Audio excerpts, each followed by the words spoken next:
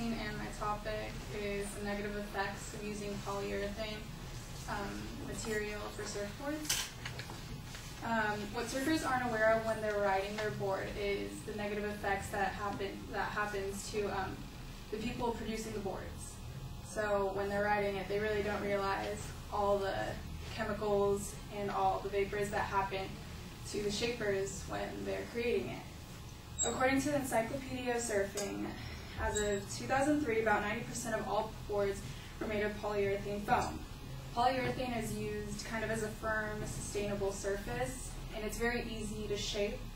And the surfers really like using, I mean, shapers really like using that. It's really easy and fast to make surfboards, so it's really, really cheap to buy if you're a surfer. That's probably the cheapest board to go with. And since it's so cheap, it's always in high demand.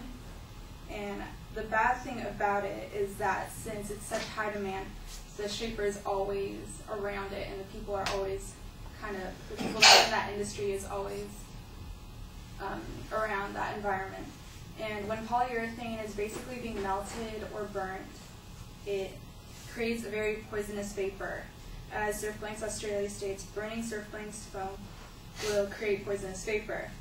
And it will cause this kind of disease called toluene dicyanate, known as TDI. It's commonly used to make foam products or paint. So you'll hear that kind of with like painting products, um, to be very careful of that.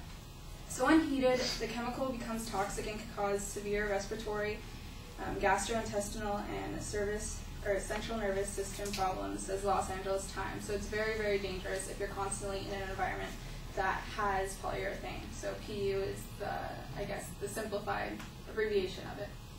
Um, the Communications Workers of America, it's a union for the information age. It supports that statement by stating that TDI exposure causes serious um, upper respiratory health problems. So it's also known for giving cancer to shapers, which is really, really bad, especially if you're a surfer, you definitely want to be concerned about your environment and the people that you're affecting.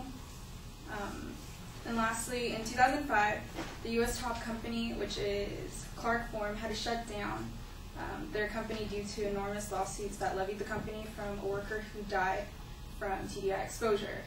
So now it's kind of the final straw. The biggest company that did carry or supply the, um, the surfboard blanks just fell under. So now it's kind of difficult to get the polyurethane foam boards, which is good for shapers, but at the same time negative. Um, basically, the PU just causes toxic air pollution, says Tobias Schultz, founder of the Sustainable Surfing Coalition organization. And more exposure to this is likely to cause health issues.